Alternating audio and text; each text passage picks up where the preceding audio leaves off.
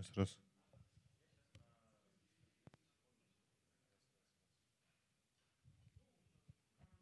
Раз, раз.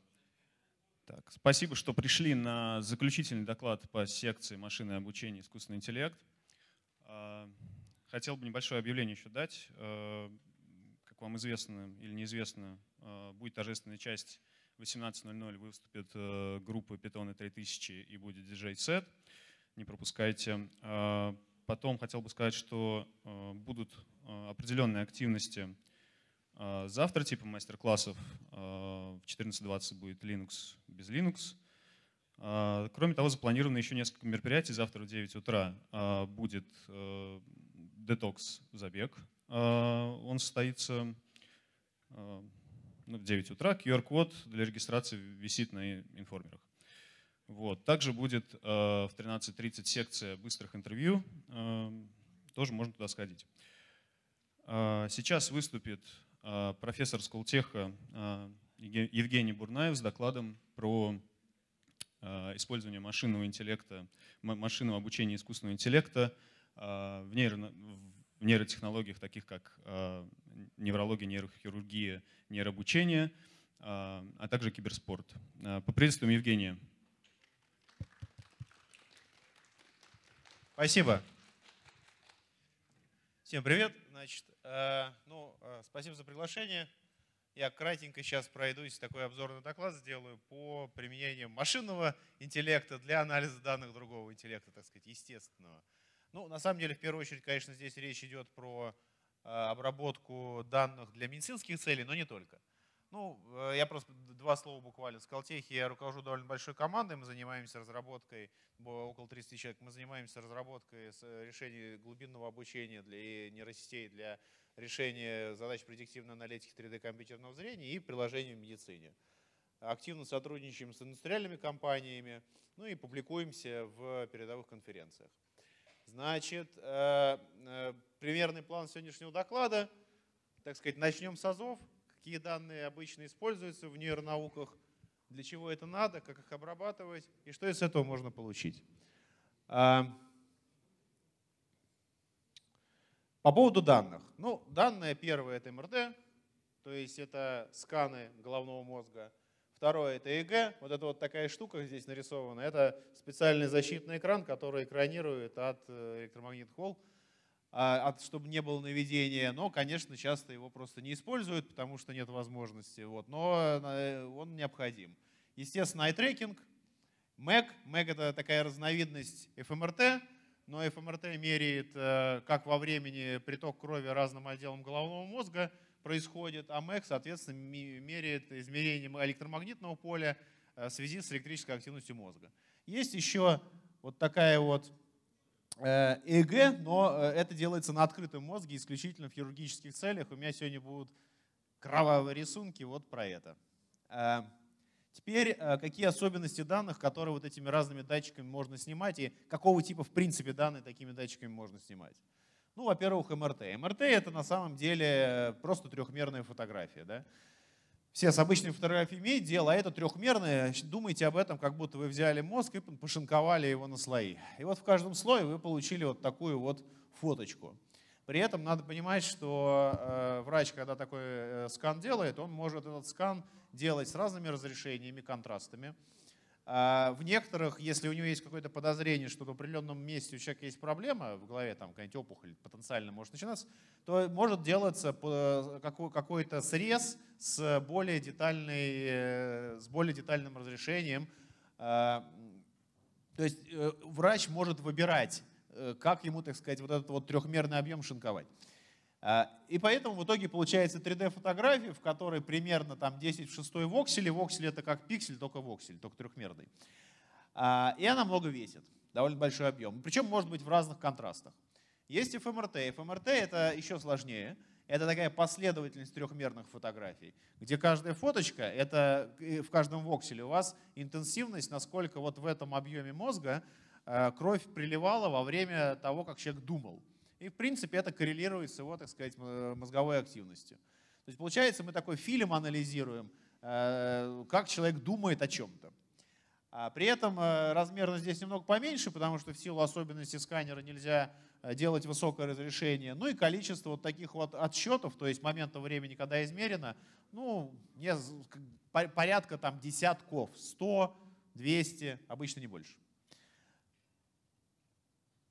Теперь, а какие есть особенности у этих данных? Ну, первые данные МРТ ну, перечислено, я уже кое-что сказал. Ну, данные шумные, во-первых, потому что когда человек снимает МРТ, он немного головой может пошевелить. Это, естественно, приводит к искажениям. А, эти данные имеют исключительно пространственное разрешение, оно довольно точное, там, миллиметры меньше может быть, но а, нет разрешения по времени. То есть вы исключительно понимаете, где у человека там серое вещество, где у него белое, где может быть какая-нибудь там размытость, свидетельство о потенциальных проблемах, но вы не понимаете, а, как у него происходит, как человек думает в неком смысле, как у него происходит процесс в голове, какой отдел какого головного мозга с каким отделом связан. А для некоторых заболеваний, например, э, связанных, э, ну, скажем так, э, психофизиологических, это может быть важным. А в случае ФМРТ ситуация другая, у вас появляется разрешение по времени, более-менее, но при этом разрешение по пространству небольшое, то есть воксель имеет существенно больше размер. Если говорить по, при, про ЭЭГ, то это исключительно как, э, ситуация какая? Голова человека, на нее устанавливается до 128 электродов, и просто меряется на поверхности коры головного мозга электрическая активность. То есть вы получаете очень высокое разрешение по времени, 10 в 6 в секунду э, измерений может быть, но при этом э, пространство разрешения неплохое. Вы не понимаете, вот эта вот электрическая активность там в теменной области, она чем обусловлена? Какой источник внутри мозга навел Э, ее произвел. В итоге, что мы имеем в смысле того, э, какие данные мы можем собирать о том, как человек думает, как у него происходят в голове процессы. У нас есть разные источники данных, раз. Эти разные источники данных имеют разные характеристики. Одни лучше в смысле понимания того, как процесс развивается во времени, другие лучше в смысле понимания того, как, в принципе, пространственно устроен мозг, головной структура, какая пространственная структура мозга. Теперь данные зашумлены. Э, на самом деле, э, когда э, человек, вот простой пример, у человека снимается ЭГ, человек моргает глазами, вот непроизвольно. Это приводит к тому, что моргание глаз обусловлено сокращением мышц глаза. Это электрическая активность. Вот эта вот небольшая электрическая активность может привести к появлению фальшивых сигналов в ЭЭГ, которые в свою очередь приводят к тому, что вы можете предположить, что в ЭЭГ есть какие-то характеристики, которые как-то там коррелированы с болезнью, а их на самом деле это исключительно шум. И очень большая сложная задача, это в принципе, вот у вас есть э, вот это показание, в какой момент времени, какая электрическая активность, в какой области головы была. И вам надо понять, вот этот, какая часть этого сигнала, она исключительно обусловлена тем, что человек подвигал головой, или рядом, не знаю, розетка, от которой Э, навелось, э, навелся сигнал или еще что-нибудь. Это сложная задача. То есть, и в случае, там, допустим, данных ФМРТ, э, буквально там миллиметровые изменения положения головы приводят к тому, что происходит опять-таки зашумление сигнала. То есть появляются ложные какие-то вещи. А, надо, как я уже сказал, все вот эти модальности данных, э, которые используются при сканировании головного мозга, они имеют разные характеристики, и врачами часто используются одновременно. То есть это, конечно, дорого стоит, но когда там, например, решается вопрос о каких-то э, анализе болезней, таких как депрессия, эпилепсия, то и измеряют и ЭГ, и МРТ, и ФМРТ иногда. Поэтому, поскольку они позволяют понять разные, э, разные свойства конкретного пациента. А, окей, вот мы проговорили о том, какие есть данные, какие у них свойства, какие есть свойства. Теперь, собственно, какие задачи можно решать, э, и именно задачи, не, не задачи медицинские, потому что, ну, я вот лично не врач, я специалист по машинному обучению. А врачи, поэтому я сейчас буду говорить скорее о задачах именно как э, задачах машинного обучения, но понятно, какие медицинские задачи за этим стоят. Первая задача – это классификация – первую очередь. То есть вы должны по э, измеренным наблюдениям сказать потенциально, что у этого человека высокий риск э, э, каких-нибудь, какой-нибудь там, какого-нибудь вида депрессии, который требует там серьезного медикаментозного лечения. Это задачи э, локализации, э, а именно, и сегодня я расскажу пару таких реальных кейсов про это, где машинное обучение и как оно там срабатывает. А задача локализации – это когда вы хотите понять, э, где конкретно у человека может быть, например, какой-то участок мозга маленький, который, э, в котором как раз заключается проблема, что у человека есть эпилепсия. Из-за того, что там какое-нибудь утолщение коры головного мозга, размытие и так далее. И третье, э, третий класс задач – это задачи корреляционного анализа. То есть вы должны понять, вот есть различные данные о головном мозге, и как они связаны с какими-то внешними проявлениями человека. Насколько он быстро обучается, или насколько он хорошо и эффективно играет, например, в киберспортивные игры. Киберспорт сейчас штука популярная. Вот, не так, пока не то, чтобы про это знают, что делать много людей, но вот определенное направление, э, движение в эту сторону уже есть. А если говорить о, ну, я, поскольку, значит, э, я, как я понимаю, в данной аудитории э, присутствуют айтишники, так, сколько из вас знакомы с машинным обучением, я не очень представляю. Вообще, поднимите руки, кто машинным обучением занимается, ну, кроме такого обычного программирования. Ну, присутствует народ. Но я кратенько так все-таки охарактеризую такой общий pipeline, как он устроен. Значит, сначала мы получаем данные. Это вот мы, этого вопроса мы не касаемся, я просто рассказал, как их можно получать, что вот есть разные типы установок. Дальше мы эти данные должны предобработать. Ну, в случае э, обработки данных головного мозга это очень сложная задача, там просто много шагов. Это и корректировка того, что в какие-то моменты времени человек головой подвинул. Это необходимо, например, из этого снимка МРТ вырезать череп. Как это ни странно, э, э, снимок МРТ устроен так, что на фоне МРТ еще бывает проступает контур лица, и можно, вообще говоря, даже надо человека идентифицировать. Это все должно быть, деперсонализация информации тоже необходима. В общем, здесь много вот таких вот чисто технических задач по э, приведению этих данных в некий порядок. И это может занимать часы и даже сутки. Просто а, процессинг одного МРТ. После того, как вы получили э, такое, такие обработанные данные, вы должны по ним подсчитать признаки. Признаки, которые характеризуют э, ну, какое-то состояние человека. Например, э, типичный как бы, такой кейс – это вы разбиваете мозг на а, регионы, это делается автоматизированным образом. Есть специальные медицинские атласы, которые говорят, ну вот есть там какие-нибудь лобные доли, мозжечок и другие отделы. Их там порядка десятков. И вы э, должны э, а, сначала отобразить мозг человека, у каждого человека он индивидуально, его форма индивидуальна, отобразить его вот в этот медицинский атлас, где как бы, э, который представлен каким-то усредненным мозгом. И тогда вы поймете, какие участки конкретного Э, МРТ-снимка соответствует каким участкам мозга э, у этого человека в соответствии с этим атласом. Дальше вы можете измерить объемы этих подобластей, там, объемы лобных долей, других каких-то характеристик, их э, площадь и так далее. Потому что если при определенных болезнях, связанных там, с деменцией и подобным, вот эти какие-то подобласти мозга, они могут начать в неком смысле деформироваться, уменьшаться, увеличиваться и так далее. И уже по этим признакам можно что-то понять. В итоге вы какие-то признаки считаете. Понятно, что для сложных задач требуются более сложные признаки, которые вот такой простой трактовки, как я сейчас рассказал, они не имеют.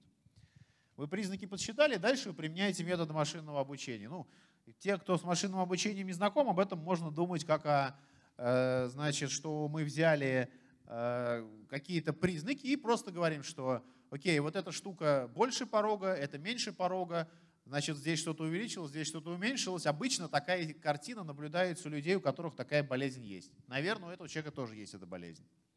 Так устроено типичное дерево решений в машинном обучении. Это один из таких самых ходовых алгоритмов. И вот здесь его можно э, тоже применять, когда вы эти признаки подсчитали. Окей. А, значит, при подсчете и предобработке данных э, существуют разные уровни вот, этих, э, вот этой обработки.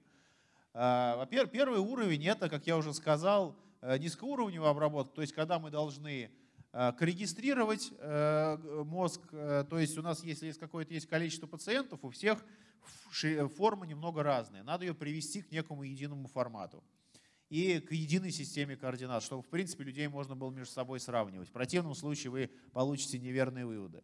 Вот это все входит вот в этот первый шаг, который здесь в квадратике. Следующий шаг – это очистка от шума. Я сегодня про это говорить не буду. Э, у меня даже некое видео было заготовлено, но это не так интересно смотреть. Но, в общем, это э, некоторые сложные э, задачи. Теперь, какие данные мы можем выделить в принципе, например, в случае ФМРТ? Как я сказал, в случае ФМРТ мы получаем информацию о том, что вот в разных частях головного мозга, вот здесь, которые красным подсвечены, в какие моменты там появляется активность и насколько она интенсивная. И дальше происходит следующее. Если вы понимаете, что вот в, этот, в последовательные моменты времени, вот в этом месте, вот в этом месте у вас, так сказать, зажигается, наверное, человек думает так, что вот эти два отдела головного мозга между собой взаимодействуют. А раз так, то это э, некоторый признак. Вы можете его подсчитать. Вы можете подсчитать как бы зависимый, оценить зависимость между двумя, двумя этими областями, некий коэффициент корреляции поставить взаимо, в, в соответствии. И на основе этих признаков уже э, принимать решение, что правда ли, что этот человек, например, болен какой-нибудь там депрессией. Потому что если у человека все нормально, у него разные отделы головного мозга одним образом между собой взаимодействуют. Если здесь зажглось, то и здесь зажигается. А у человека, у которого, например, депрессия, у него эти связи могут быть нарушены. И поэтому он, а эти связи могут быть нарушены по разным причинам. Это и причины, э, связанные с каким-то развитием э, во время, там, э, разви, начиная с младенчества. Это могут быть какие-то причины, связанные с, с химией, так сказать, тела, и они лечатся медикаментозно. А, в итоге а, такой анализ он проводится каким образом? У нас есть просто разные как бы, э, точки в мозгу, и мы в каждой точке в мозгу имеем временной ряд, по которому э, это как бы сигнал активности, то есть какая интенсивность вот в этом месте у человека во время того, как он думает. И мы получаем вот такие много вот таких временных сигналов, и дальше можно, посмотрев на то, как эти временные сигналы коррелируют, ну, для этого можно использовать там разные техники. В математике существует коэффициент корреляции, всякие э, коэффициенты на основе взаимной информации. Вы можете понять, как эти, э, в какие моменты времени вот эти разные отделы головного мозга с, другой, с друг с другом э, взаимосвязаны, и уже на основе этого понимать, в принципе, все ли в порядке у этого человека. Ну и, наконец, последний этап, как я уже сказал, применение в машинном обучении, изображенный в этом квадратике. Вот эти признаки вы всякие подсчитали – и вот эти признаки уже поступают на вход алгоритма машинного обучения, с, которой вы, с которыми вы строите предиктивные модели разного типа. А, при этом надо понимать, что и машинное обучение как раз позволяет классифицировать, что этот человек здоров, этот нездоров. Наверное, у него вот эта проблема. Или у этого человека вот в этом месте конкретном находится какая-то потенциальная опухоль, или вот именно здесь находится потенциальный участок э, эпилепсии, его надо хирургическим путем удалить делается прогноз таким, э, такими, такого типа алгоритмами. Ну, вот эта таблица, понятно, что сейчас, э, тем более, если вы не специализировались в этой, в этой области, невозможно понять, но я, суть этой таблицы примерно в следующем. При анализе данных такого рода существует большое количество таких трудностей. И это и, вот я приведу такой забавный пример. Пример такой. Если вы врач снимает, допустим, МРТ э, каким-то аппаратом компании Philips. И он это делает по определенному протоколу. Протокол снятия снимка – это когда э, выставляются специальные настройки этого аппарата, что с такой-то интенсивностью надо задавать там, э, этот снимок в таком-то контрасте, с, таким-то разрешением. И вот он, соответственно, с этим протоколом наснимал какое-то количество снимков. Допустим, в другом госпитале исследуется такое, такая же болезнь, но либо аппарат используется другой компанией, либо врач использует другой протокол. То есть немножко другое разрешение снимка или немного, немного другая последовательность срезов. В итоге что произойдет? Если эти все данные слить в одну выборку и потом по ним построить машинное обучение, алгоритм какого-нибудь машинного обучения, то что? Алгоритм научится отличать не то, что человек болен или здоров, а то, на каком аппарате этот снимок был сделан. Это проблема большая, потому что, в принципе, получение медицинских данных тяжелая, тяжелая, э, тяжелая вещь. Э, выборки сложно набрать какого-то значительного объема. Вот. Э, а здесь еще вот эта проблема возникает. Поэтому существуют некоторые методы машинного обучения, но на английском называется domain adaptation, или доменная адаптация, если так вот калька перевести, там еще есть такой термин transfer learning или перенос опыта на русском часто это называют. В общем-то, некоторые специальные компрессионные, скажем, компенсирующие техники машинного обучения, которые позволяют вот эти вот э, вещи, о которых я сказал, что немного, небольшие стат различия в снимках и так далее, приводят к неправильным э, диагнозам, это можно нивелировать до некоторой степени. Значит, в нашей работе, я, когда я говорю про нашу работу, я имею в виду работу своей научной группы, э, мы много работаем с медицинскими изображениями, мы коллаборируем с рядом э, партнеров медицинских и не только, э, которые позволяют нам получать медицинскую экспертизу. Задачи, которые мы решаем, они, конечно, не какие-то исследовательские такие вот совсем абстрактные, потому что здесь тоже можно придумать какие-нибудь абстрактные исследовательские задачи. Они более конкретно имеют клиническую направленность. То есть это то, что потенциально может помочь как-то врачу, хирургу для принятия каких-то решений, поддержки его решений. Вот теперь давайте мы поговорим э, немного конкретнее о э, том, какие задачи конкретно здесь можно решать. Я приведу несколько примеров. Э, я сейчас буду говорить про анализ данных ФМРТ сначала, поэтому я еще чуть-чуть буквально уделю два слова о том, как устроен э, часто анализ данных ФМРТ. Как я уже сказал, то есть у нас есть вот это вот э, э, снимок головного мозга. ФМРТ — это последовательность снимков, где э, вы для каждого, в каждом снимке вы понимаете, какая, какой участок головного мозга, какую интенсивность, так сказать, работы имеет. То есть фактически у вас в каждом, для каждого участка головного мозга есть временной ряд электрической активности. Можно об этом думать так. Что вы можете сделать? Вы можете построить граф. Граф того, какие участки с какими сильнее всего коррелируют, сильнее всего зависимы. Получается вот такой вот граф. Обычно этот граф не направленный, то есть вы не знаете, какой участок на какой влияет, вы знаете только, что они зависимы как-то. И уже вы можете по этой структуре зависимости в среднем понимать, нет ли у человека каких-то сложностей. Потому что, как я уже сказал, у сильно больных людей, у, у, у среднего, скажем так, у усредненного пациента эти графы могут иметь существенно разную структуру. Сейчас мы исследуем ситуацию, когда мы э, применяем здесь, строим граф не, э, не направленный, а с направлениями. Существуют статистические методы, которые по вот этим временным рядам позволяют понять не только, что они зависимы, но и в какую сторону независимо, какой временной ряд на какой влияет. И уже поэтому можно, это дает дополнительную потенциальную информацию, но вот сейчас этот вопрос мы исследуем. Вот теперь давайте поговорим про конкретную задачу, про задачу э, декомпозиции ФМРТ данных для того, чтобы э, помогать планировать лучше хирургические операции по удалению злокачественных опухолей. О чем речь идет? Значит, в этой, в этой работе мы сотрудничаем так или иначе с э, госпиталем Бурденко.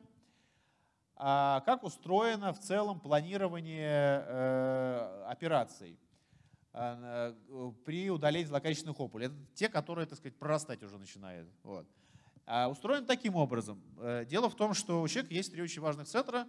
Это центр, э, который ответственен за речь, за движение и за зрение. А, они у разных людей, в силу того, что форма головного мозга разная, находятся немножко в разных местах. То есть нельзя э, указать э, сразу, вот просто ткнуть пальцем, сказать, вот здесь вот у человека в мозгу генерируется речь. Не, так это сделать нельзя.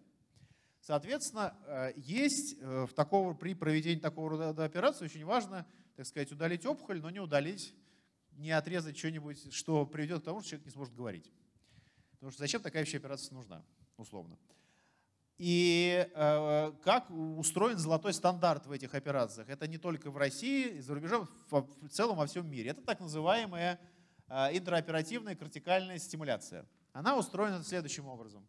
Э, значит, э, всех, так сказать, э, тех, кто такие вещи не может приносить, заткните уши. Суть такая, когда вскрываю черепную коробку, э, в случае, например, если речь идет о э, центре, ответственном за генерацию речи, человека будет, то есть он в сознании. Э, есть специальная вот тут вот такая вот, видите, штучка зеленая. Значит, ей, да, там на небольшой, грубо говоря, на небольшой разряд электричества. Э, примерно уже знают, где этот центр находится, замыкают, так сказать, контакт. И если человек до этого какие-то слова говорил, он просто перестает говорить. И таким образом точно понимают, что вот в этом месте есть граница между областью, где речь генерируется, и областью, где речь не генерируется. Соответственно, необходимо, вот если известно, что вот здесь опухоль, надо найти границу между опухолью и не залазить ли эта граница на вот э, какую-то площадь, где речь генерируется, чтобы, как я уже сказал, не отрезать лишнего. Понятно, что такая, такая, такое вот предварительное э, исследование перед самой непосредственной операцией по удалению опухоли, оно, во-первых, и травма, травмирующее, э, и потенциально ну, какие-то могут быть дополнительные опасности. В такой, но сделать с этим ничего нельзя, она все равно используется. Теперь, а, естественно, чтобы как можно меньше времени э, эту процедуру делать, и как можно быстрее определить, где находится граница, разграничивающая э, одну область от другой, используют так называемую task-based FMRT. То есть это FMRT, который снимается под нагрузкой. Что это такое? Это у человека снимается FMRT, и при этом он, например, задает какие-нибудь вопросы, а он голосом отвечает. И потому, где у него, так сказать, в голове зажигается на FMRT соответствующий участочек в моменты, когда он на вопросы отвечает, люди примерно оценивают, где у него находится центр, ответственный за генерацию речи. Проблема в том, что, во-первых, не все больные в хорошем состоянии находятся, чтобы вот э, в таких, так сказать, э, упражнениях участвовать. Тем более, что человек должен лежать вот в этой вот установке ФМРТ, там душно, э, неприятно, э, что-то говорить, и при этом он не может ничем шевелить. Это просто тяжело, потому что в противном случае э, эти измерения пойдут на смарку. Возникает вопрос, а можно ли как-то упростить э, эту процедуру? На самом деле э, можно. Дело в том, что голова так устроена, что вот эти центры, ответственные за движение, за речь, они все время в неком смысле включены. И если вот есть такая задача, задача называется задача коктейльной вечеринки. Представьте себе, что вот вы сейчас все сидите здесь, и я перестал говорить, а вы начали обсуждать мой доклад и меня. И вот, значит, такой гул непрерывных голосов. Я вот это все на свой э, микрофон, значит, на, на, на, записываю, например, на свой телефон, вот этот гул, гул голосов. И, хочу, и задача коктейльной вечеринки означает, что я должен построить алгоритм, который принимает на вход вот этот непрерывный гул голосов людей в этой аудитории, которые разговаривают, и должен его разделить на отдельные голоса, так чтобы у меня получилось, вот сколько здесь людей сидит, не знаю, там человек 50 условно, у меня должно из, из одной записи непрерывного гула получиться 50 записей, где на каждой записи будет э, отдельный голос человека, что он говорит. При определенных условиях такую задачу можно решить методами статистического анализа машинного обучения. И э, какое это отношение имеет вот э, к обработке данных МРТ, в, когда человек находится в состоянии покоя? Когда человек просто находится в состоянии покоя, лежит вот в этой установке для снятия Э, разные важные центры головного мозга, там, речь, движение, тогда они все равно работают, они генерируют какую-то активность. И мы просто снимаем фоновую активность, как у человека какие-то процессы в голове происходят. Так вот, если эту фоновую активность разложить на вот такие независимые составляющие, как будто они соответствуют каждой своему голосу, то среди этих голосов будет голос, ответственный, так сказать, за речь, за, за, вот это, за, за э, какие-то активности в центре, которые ответственны за речь, за активность в центре, которая ответственна за движение и так далее.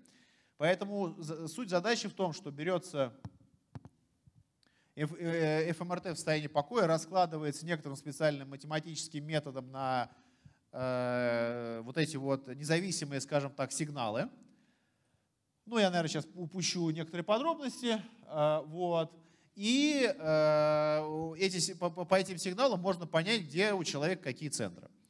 Теперь, для того, э, это, это такая, ну, это, это, этот феномен, он известен был. Вопрос в том, в применении его в хирургической практике. Соответственно, мы разработали алгоритм и э, построили на основе этого алгоритма визуализатор, который позволяет э, что делать? Принимается на вход ФМРТ, ну, вот, вот это вот некое математическое описание задачи о коктейльной вечеринке, я ее пропущу.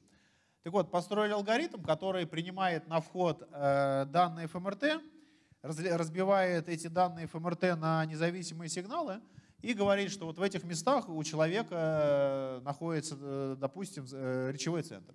Вот на этой картинке приведен пример, значит, вот это вот розовое – это некоторый срез, и розовый – это опухоль на поверхности, красное – это, прошу прощения, Красное – это э, э, прогноз resting state. Зеленый – это прогноз э, по task-based. То есть это у человека два раза и resting, и в состоянии покоя ФМРТ сделали, в состоянии под нагрузкой. Вот это на, край, на этом рисунке некое соответствие. И то, что врачам нужно было, им нужно было понять, где границы между опухолью и, собственно, центром, соответственным за речь. И, э, соответственно, вот эти вот там несколько точек, которые стрелками показаны, здесь, к сожалению, очень хорошо видно, но это стрелки, это точки, которые, собственно, врачи получили во время вот этого интеркортикального стимуляции, непосредственно во время операции. И, собственно, поскольку мы сотрудничаем с госпиталем, они нам прямо эти данные дают. То есть они говорят, окей, вот вы там это спрогнозировали, э, вот есть прогноз еще по, по task-based, а вот мы во время операции определили, что точно здесь, вот в этой точке нету э, речевого центра, а в этой есть. Тем самым мы имеем возможность корректировать свои прогнозы и подстраивать алгоритм. Собственно, сейчас определенная версия алгоритма сделана, врачи этим Э, в своих каких-то начальных изысканиях пользуются. Это вот, собственно, я на картинке с моим коллегой Берштейном Славом Ильичем, мы на операции присутствовали. Такое себе зрелище, скажу я вам. Вот. Э, и, а можно включить видео? Да, вот здесь, собственно, показан некий визуализатор, на котором уже сделаны прогнозы, вот это точки, которые были проставлены после операции, и врач имеет возможность там рассматривать разные прогнозы и так далее. Ну, я сейчас не буду, наверное, углубляться в детали. Да.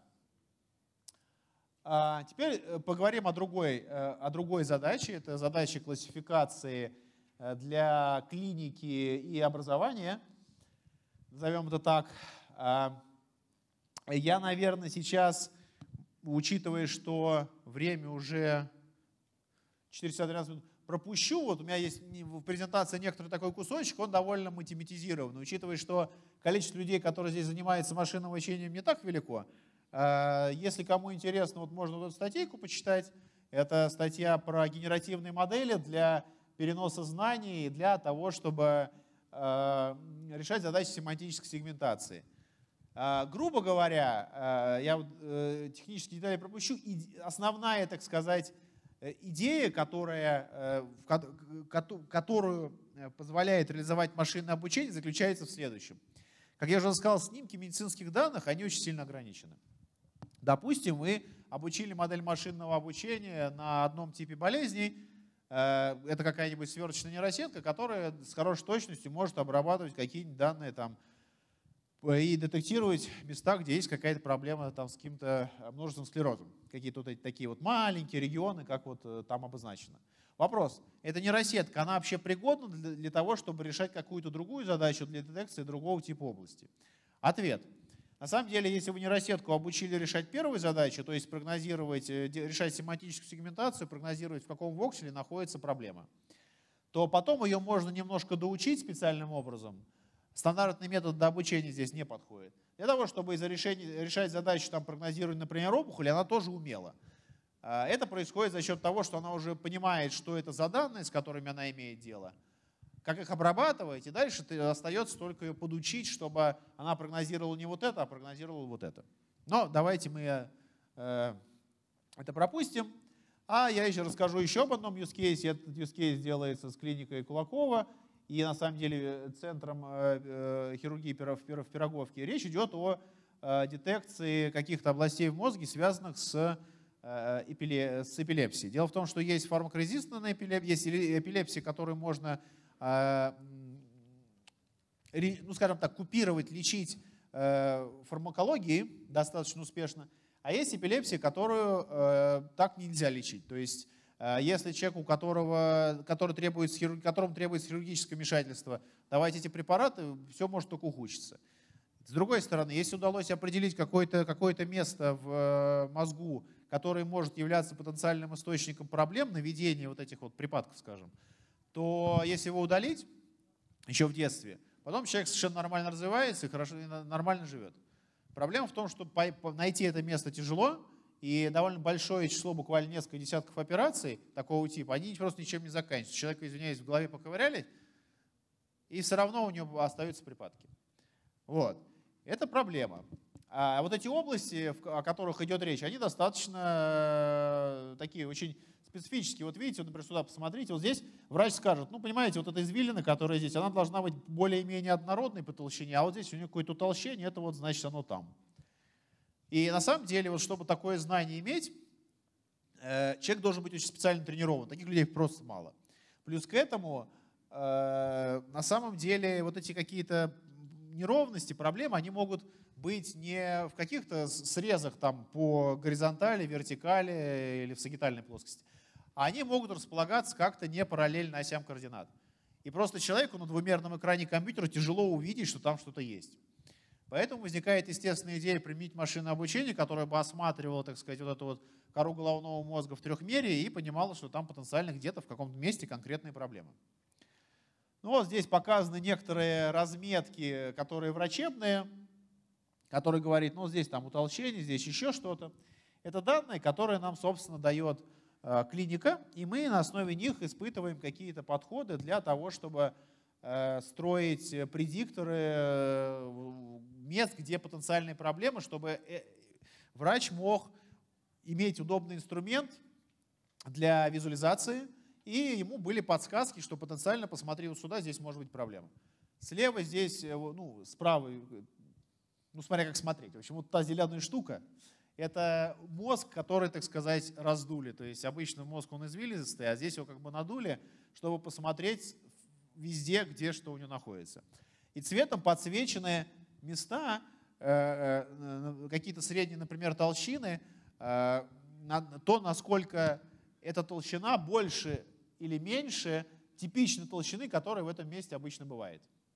Вот, соответственно, это уже такой простой инструмент, но сейчас мы строим алгоритм машинного обучения, который позволяет с учетом разметки, полученной от врачей, проделать прогноз соответствующих мест более, э, более точно. А, ну и, наконец, я вот фактически закончил свой доклад. Давайте поговорим о корреляционных задачах. На самом деле, вот просто такая, знаете, завлеку, э, слайд э, Завлекалова. Там некоторое время назад такой стартап из Китая получил очень большие инвестиции, там 150 миллионов и больше – это стартап по онлайн-обучению. Но его отличие от обычных онлайн-платформ для онлайн-обучения в том, что для каждого человека он подстраивает траекторию индивидуально, в зависимости там, от его скорости, с которой он обучается, и других подобных вопросов. А, то есть на самом деле э, это пример того, э, э, так вот, это просто некая мотивация, почему в принципе полезно и важно заниматься Э, пониманием того, как индивидуальные особенности физиологические связаны с, э, то, с тем, насколько человек в принципе может эффективно обучаться в разных возрастных группах. Это небольшое исследование, которое мы делаем с э, вышкой. Там есть коллектив, который проводит различные измерения, такие как траектории движения глаз во время выполнения человеком каких-то задач на компьютере, различные вопросы, связанные с тем, насколько, измерения, связанные с тем, насколько э, мозг хорошо снабжается кровью и подобное, и при этом он выполняет какие-то уже э, задачи э, интеллектуального плана.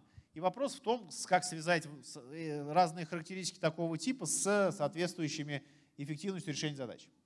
Ну и, наконец, напоследок я расскажу про киберспорт, потому что на самом деле это тоже имеет некое отношение такое понятное к э, тому, чтобы э, связать э, перформанс человека, эффективность, как он, когда он играет в некую игру. И на самом деле некоторые, некоторые из киберспортивных игр, они весьма интеллектуальны. Хотя выглядит со стороны это так себе. А, когда вот эта команда, значит, ребят в комнате, крики и так далее. Так вот, суть в чем? Психологическое состояние, это естественно, влияет на performance в игре.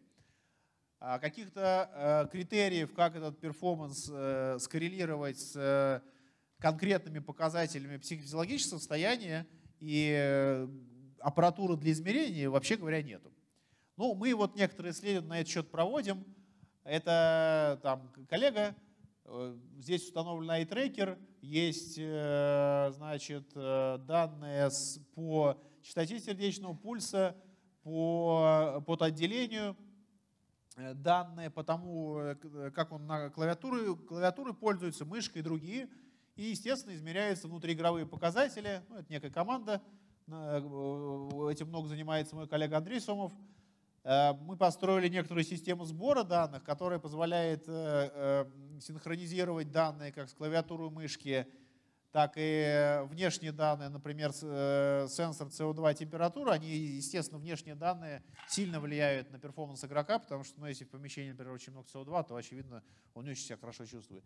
Ну и, конечно, основные показатели, такие как э, частота сердечного пульса, э, трекер глаз и другие. А, ну, это вот некоторый там набор датчиков, которые используются. А можно видео включить?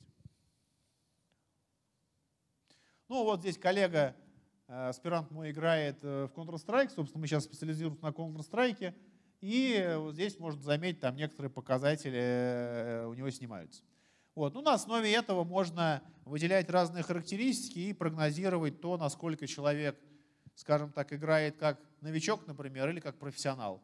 Потому что дело в том, что мы сотрудничаем с какими-то игроками, которые профессионально этим занимаются или полупрофессионально – и имеем возможность записать как э, новички, так и как вот эти профессиональные ребята играют в одну и ту же игру э, тем, чтобы построить модели, которые прогнозируют уже для нового человека, насколько он там профессиональный или нет.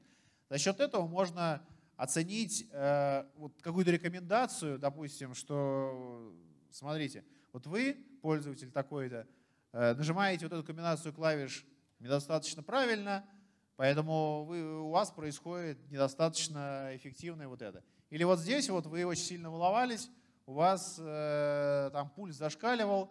К слову сказать, мы недавно были в клубе, где э, измеряли данные, и у одного из э, парней, там была такая команда, скорее, подростков даже, у него, э, я, не, я не знаю, как точно называется, это какая-то такая вот э, синдром гиперактивности или что-то такое. У него в какой-то момент там пульс под 200 стал. Вот, естественно, ему пришлось, э, и он сам это не заметил.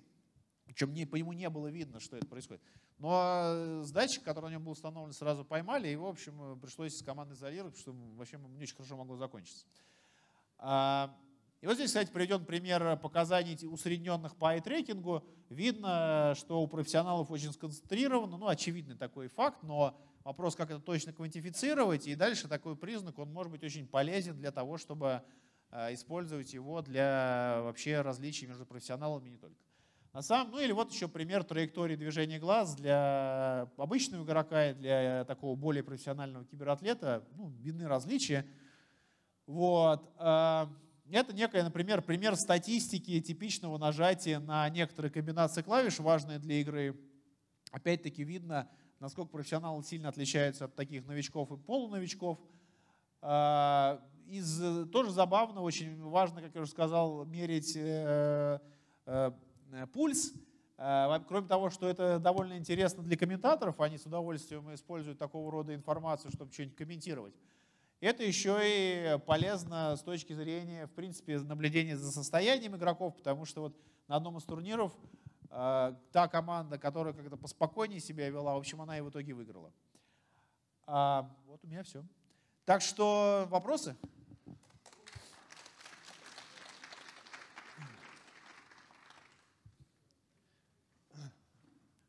Евгений, да. а можно сразу с последней темы про а, киберспорт? Да, да, да? А, вы не пытались такую задачку решить, э, э, что по параметрам, которые в режиме реального времени идут, игрока спрогнозировать э, насколько он будет успешен в самые ближайшие не знаю, да, секунды, мы, минуты. Как у, меня даже, у меня даже на архиве статья так, на такой теме висит.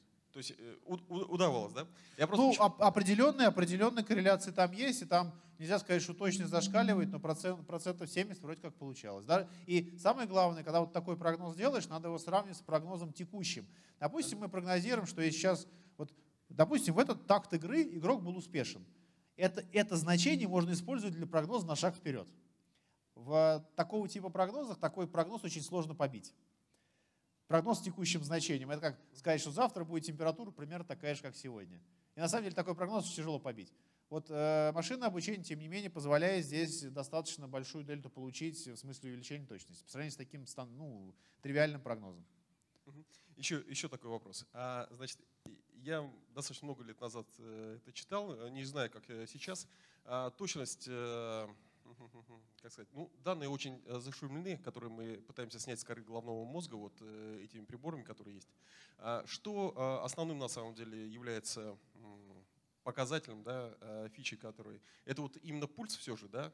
Нет, стоп. Надо понимать, что э, в случае с киберигроками, э, э, киберспортсменами, никакие данные с коры головного мозга мы не снимаем. Ну, Там там человек си- сидел, там Он- это... там э, это было. прибор- это был прибор. некий, были некие эксперименты, но мы просто интересовались, насколько это в принципе может помочь. Ну, и как- Хотя я уже еще до этого хорошо понимал и знал, что вот эти всякие э, ЕЭГ-системы, которые у нас основаны на нескольких отведениях, я их там название забыл сейчас, но они просто есть, э, их можно любой человек купить и баловаться. Да. Вот, они очень неточные. Вот, поэтому э, что здесь действительно срабатывает? Если вы возьмете э, медицинский э, аппарат хотя бы 16 или 32, но она будет требовать, что надо голову гелем полить. Ну, в общем, для каких-либо использований это не годится. Это можно использовать только в лабораторных условиях в очень конкретных экспериментах, но не А, более того. То есть, получается, это пульс, а потовыделение как-то... Skin resistance, то есть вот это характеристики, или как человек там, извиняюсь, пятая точка на стуле двигает, это тоже на самом То деле есть вот важно. это больше всего там, Ну, да? то конечно, есть, это э, полезно, да. Хорошо, спасибо. Да, пожалуйста. Так, есть ли еще вопросы? Э, Здравствуйте. В общем, опять же вопрос Да. про этот киберспорт. Зацепила, я смотрю все. Нет, просто я вот понимаю, допустим, э, для чего нужно определять определенные активности зоны головного мозга и прочее, прочее. Да. То есть это применимо в медицине. Но вот этот киберспорт зачем? Ну, смотрите, какая ситуация. Значит, э, это, э, тут есть два аспекта у этой деятельности. Первый аспект, он просто научный, просто интересно смотреть, человек в стрессе, и как его психологические параметры коррелируются с его пер- э, эффективностью в определенной деятельности под стрессом, и как можно ли построить какие-то индивидуальные признаки, которые будут говорить, что вот этот человек в силу своих индивидуальных черт, он будет и более эффективен в этот стресс связаться, чем другой. Это как бы научная составляющая всего, все- всех этих э, действий. А если говорить про практическую составляющую, то гарантии, конечно, нету, что она зажжет. Но есть положительный фидбэк от разных там тренеров, например, команд, о том, что им было бы интересно и полезно иметь э, какой-то инструмент для измерения оцифровки перформанса в разных аспектах его, для того, чтобы, например, понимать, как он э, значит, себя ведет со временем. И э, этот перформанс, а также некоторых других аспектов, как игрок эффективно что-то нажимает, смотрит, насколько он сосредоточен, не сосредоточен. То есть некий набор показателей, с помощью которых он может ориентироваться. То есть, грубо говоря, э, одно дело, когда, ну, я не приведу с другим спортом, пример, там, какие-нибудь э, там э, силовые виды, и там всегда тренер может сказать, ну, хорошо, у тебя что-то на ногах сегодня, на ногах себя плохо ведешь, ноги, видимо, у тебя устали, но насколько устали? Вот в случае киберспорта это можно еще и измерить. Да. Это первое. И второе, на самом деле, э, опять-таки, есть э, интерес у людей, которые этим полупрофессионально занимаются, чтобы какие-то свои характеристики подтянуть. И э, если, есть, если удастся, конечно, создать систему, которая будет содержать там еще пару дополнительных сенсоров,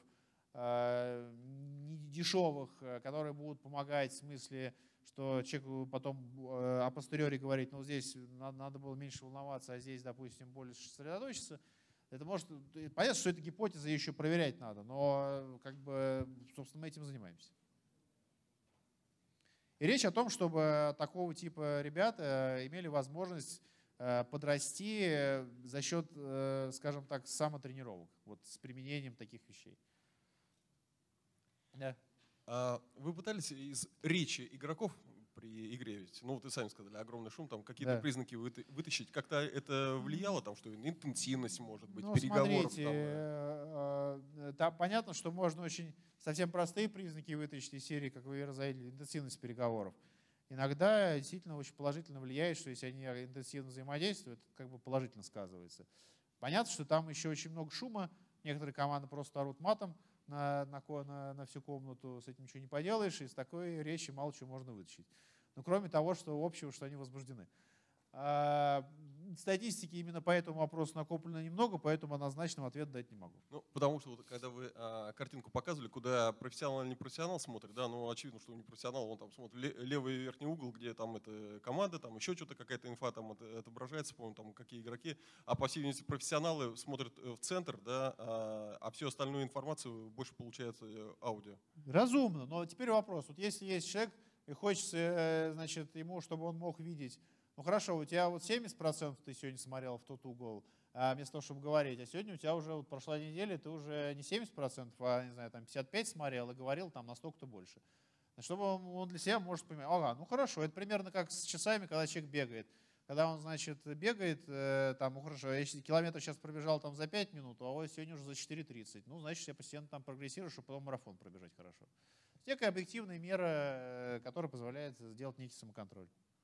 Из другой темы. А, скажите, пожалуйста, какие-то открытые или пускай закрытые, но доступные для покупки а, датасеты вот э, не из киберспорта, да, а непосредственно из нейрохирургии, вот это вот э, томографии, там МРТ, там головного мозга, это вообще существует, ну, полезное для Ну смотрите, на самом деле, если вы там наберете ФМРТ, Machine что-нибудь, то будет какое-то количество открытых датасетов. Некоторые научные консорциумы их выкладывают. Есть большой проект Human Connectome Project, там есть еще второй, забыл, как называется. Ну, это крупный американский, крупный европейский. Там проблемы с ними, к ним можно получить доступ и скачивать МРТ, ФМРТ и другие типы данных э, людей. То же самое есть еще крупный проект в Великобритании, похожий. Э, значит, э, та проблема основная, что там в основном все эти данные, вернее не основном, а эти данные для здоровых людей, а больных там нету. Вот. Э, в России таких открытых датасетов нету, но есть определенная возможность договариваться с госпиталями, но с этим, конечно, тоже там и надо всякие бумажки подписывать и т.д. То есть это все тоже присутствует, но определенные возможности есть. Но отвечая на ваш вопрос, в сети можно найти какое-то количество сетов, на которых вы можете набить руку, чтобы применять машинное обучение. Да, это возможно. Нет, я к тому, что если, если ну вы ответили, да, если датасеты открытые, которые помогли вам в ваших исследованиях. А, ну да. Да, вот я в этом смысле. Ну да, а, да. А не в том смысле, что нам рук набивать. Ну да, да. Ну, я так понял, что они есть, но не помогают особо, да? Ну, они, безусловно, есть, но в любом случае, если входить решать релевантные задачи, надо идти к врачам, потому что именно они вам их поставят. А что-то вот так вот вытащить из этого самое, ну, пользы не будет. Какие-нибудь еще вопросы? Нет? Спасибо за классный доклад, Евгений. Да, э, пожалуйста.